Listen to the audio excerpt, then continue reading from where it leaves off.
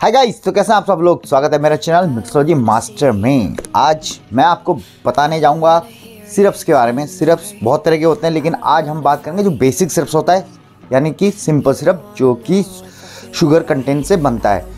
बहुत से लोग का मानना है, या बहुत से लोग इस बारे में जानते हैं कि sugar syrup simple syrup both are same but ऐसा नहीं है। दोनों में बहुत से वेरिएशंस हैं जो कि अपने इस वीडियो में मैं आपको बताऊँगा। और ये सिरप्स कैसे बनाए जाते हैं, ये आप देखेंगे मेरे वीडियो में।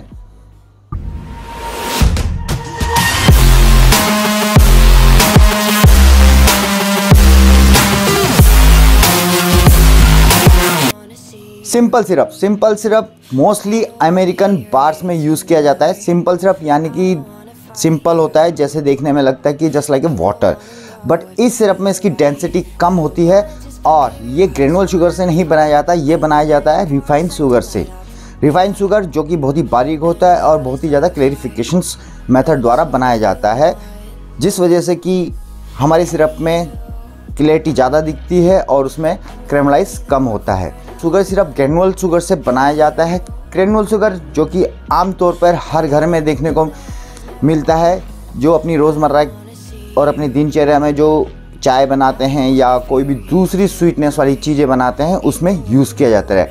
Granule sugar sugar can say बनता है और ये रिफाइंड शुगर से बहुत ही ज़्यादा मोटे होते हैं, जो कि इस पिक्चर में देख सकते हैं। जैसे कि लोग मानते हैं सिंपल सिरप और शुगर सिरप दोनों एक होते हैं बट ऐसा कुछ नहीं है, दोनों अलग अलग होते हैं। रिफाइंड शुगर की डेंसिटी, जैसे मैंने बताया, डेंसिटी कम होती है और शुगर सिरप की डेंसिटी ज़्यादा होती है। ये भी मिक्सोलॉजिस्ट और बारटेंडिंग की लाइन में बहुत ही फ्लेवर के साथ क्रिएट किया जाता है और हमारे ड्रिंक्स में भी वेरिएशन ला सकता है। सपोज़ आप कोई क्लियरिफिकेशन कॉकटेल बना रहे हैं और आपको डेंसिटी नहीं चाहिए तो आप स्वीटनेस के तौर पर सिंपल सिरप यूज़ करेंगे और कुछ हमारी ऐसी कॉकटेल होती है जिसमें डेंसिटी की मात्रा ज़्यादा चाहिए होता है या जो ज़्यादा कॉकटेल थिक होती है तो हम उसमें शुगर सिरप यूज़ करेंगे।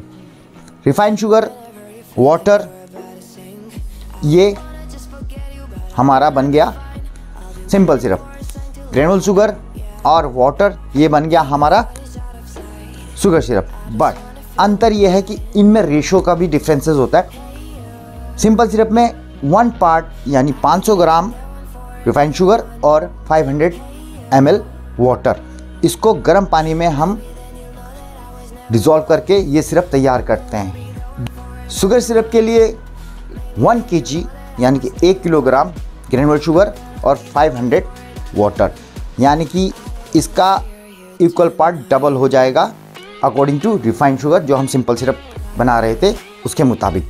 इसको भी गर्म पानी कर कर उसमें ग्रेनुअल शुगर को डिज़ोल्व करके ये सिरप तैयार होता है। तो ये प्रोसेस होता है रिफाइंड शुगर के साथ और ग्रेनुअल शुगर के साथ दोनों में अंतर बनाए रखकर हम ये सिरप तैयार करते हैं। इसके अलावा एक और मिथ्स हैं या लोगों के मन में ज़्यादा डाउट्स होते हैं कि गोमे सिरप बहुत से रेसिपी बुक्स में देखा होगा, वहाँ पर किसी कॉकटेल में गोमे सिरप यूज़ करता है और बहुत से लोग गोमे सिरप को भी सिंपल सिरप या शुगर सिरप मानते हैं। बट ये भी बिल्कुल अलग है। गोम सिरप भी स्वीटनेस सिरप होता है बट इसमें अंतर ये होता है कि इसमें एडिबल गम्स यानी जो कि पेड़ से जो एडिबल गम्स लेते हैं, उसको शुगर सिरप या सिंपल सिरप के साथ अकॉर्डिंग टू आपको कितनी डेंसिटी चाहिए, उस हिसाब से इस गोमी सिरप को तैयार करते हैं। आप देखेंगे कि ये कैसे बनाया जाता है गोमी सिरप इस वीडियो में आप ये भी देखेंगे कि गोमी सिरप बनाया जाता है। गोमी सिरप अगर आप सर्च मारेंगे तो एडिबल गम्स मारना और उसमें देखना कि इसकी क्या क्या खासियत होती है हमारी बॉडीज़ के लिए और हमारी कॉकटेल में क्या फ्लेवर देगा। इसका फ्लेवर थोड़ा सा टेनिन और कलर में थोड़ा amber colour light amber colour का टेक्सचर आएगा, जो कि आप मेरे फ़ोटो और वीडियो में भी देखेंगे।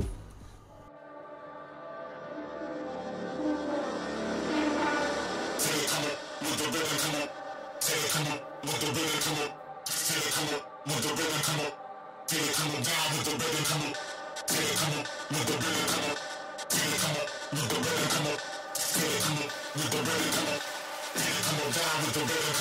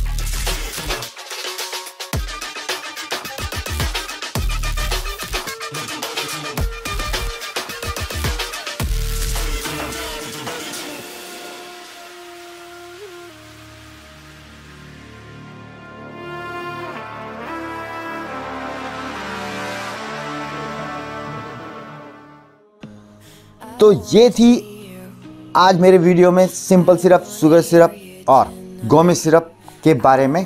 आपने देखा रिफाइंड शुगर और क्रिनोल शुगर को कैसे यूज़ में लाते हैं अपने सिरप बनाने में। सिंपल सिरप अलग है शुगर सिरप अलग है और गोमी सिरप ये भी अलग है। तो आपने देखा कि हमने इसको कैसे डिफ़ाइन किया और किस तरीके से इसको प्रिपेयर किया।